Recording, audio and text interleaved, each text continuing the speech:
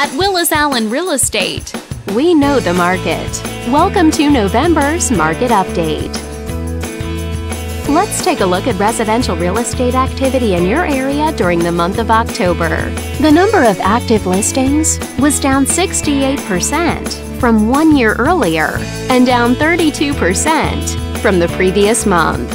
As you can see, the median listing price for the month was just under $1.6 million. Compared to last year, the average number of days units spent on the market before being sold was down 22%. The median sale price was just over $1.15 million. The number of units sold increased 29% year over year and decreased 19% month over month.